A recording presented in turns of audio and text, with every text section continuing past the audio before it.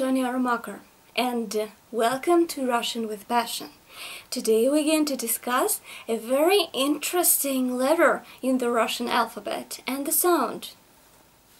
So, uh, it is the letter sh. Some foreigners find it very hard and challenging to pronounce this sound, and the reason why I've decided to um, pay special attention to it is that I heard some foreigners pronouncing this sound so wrong. Now let's take a look at one um, episode from a TV series called Desperate Housewives. Notice the way people pronounce the word borscht. Mm, what smells so good? That's borscht. Borscht! Irina's making dinner. How are you going to afford a three bedroom apartment while you're going to college? You tell them. I said pushed. Blinded by a piece of self serving Euro trash who would sell her own mother for a pair of designer jeans. Ah! They say borscht. It is wrong. And by the way, this blonde, this blondie thing, she's not Russian, believe me. Because when she speaks Russian, my ears are just turning blue and falling off. Sorry for that. Anyway, so that you could pronounce this uh, sound perfectly and you would not sound like that, um, well, let's practice and let's discuss this uh, letter and sound in more details. So, according to some resources, the letter sh is pronounced as combination of two sounds, sh and ch, but that's not correct. So you should say something like sh, sh, and in this way you are supposed to pronounce this word as borscht.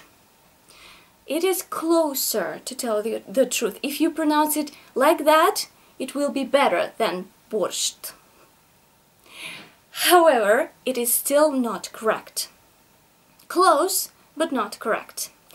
So, pronouncing this letter as the combination of the sound sh and ch, like in the phrase fresh cheese, is, well, not such a very good idea, but you are getting closer. However, we need to discuss it a little bit more. Um, so, here, uh, this sound should be transcribed like that. Uh, however, it is pronounced uh, as a palatalized letter sh. So if you know how to pronounce Russian palat palatalized sounds, Russian soft sounds, then you should not have problems with with sh because sh is a palatalized version of the sound sh here or it is soft while sh is hard. Thus, in order to pronounce sh, you are supposed to raise your tongue closer to the hard palate and make it a little bit flat. This way you uh, make uh, sounds soft, like you say t, t, uh, v, v, l, l. So, however, now let's discuss this letter, uh, let's compare sh and sh. Maybe it will get a little bit easier and more understandable for you. When you pronounce these two sounds, your lips and your teeth do not change their position. So, for example, you say, you round your lips a little bit and protrude them. So you say sh, sh, sh, sh, like that. Your teeth are close together. So you say shh, shh, shh, shh, shh. And the only thing that moves and changes its position is your tongue. So when you pronounce the sound shh, it is somewhere in uh, between the bottom of your mouth and the top of your mouth. So you say shh. It does not touch anything. However, when you pronounce sh, sh, sh, it is softer and your tongue is closer. It is moved a moves a little bit up. It is closer to your hard palate. Shh, shh. And by the way, to tell the truth, the, uh, your lips move a little bit. Actually, your whole mouth becomes a little bit tenser. Shh. More relaxed. Shh. Tense. So take a closer look at my face. See how it changes. Shh. Shh. Shh. Shh. Okay, now let's talk some more. Shh is close to the sound, to the first sound in the English word ship. So you do not say ship, you say ship.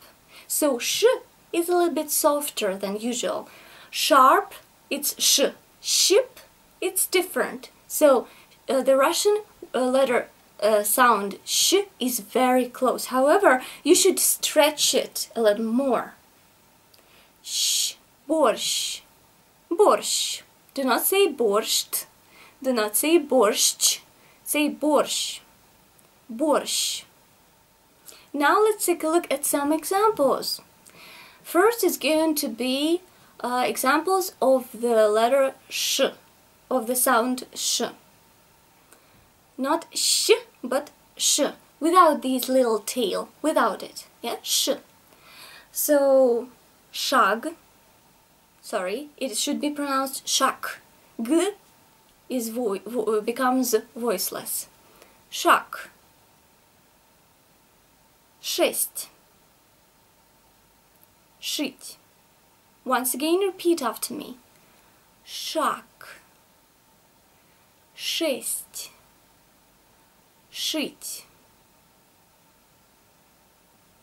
Now let's practice some words with the sound sh, with this little tail. Счастье. By the way, notice that two letters s and ch can be pronounced as sh. And this is an example. Счастье. Make it long, make it soft. Счастье. Щенок. Щи. Once again, repeat after me. Счастье. Щенок. Щи. Okay, now I hope that this sound is more understandable for you. Now you can master it and pronounce the word borsch correctly. Anyway, of course we're going to continue discussing Russian sounds, Russian letters, because uh, of course Ru the Russian alphabet is not a piece of cake. Anyway, if you want to speak Russian, if you want to understand Russian, you should learn our alphabet. Please do. It's actually not that hard.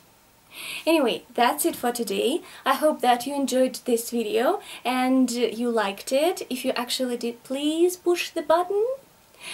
Well, I hope to see you soon in my next videos devoted to Russian and English. Do not forget that on this channel you study English too.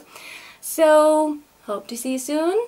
Keep studying the languages with me and happy Russian and English practice. Bye bye.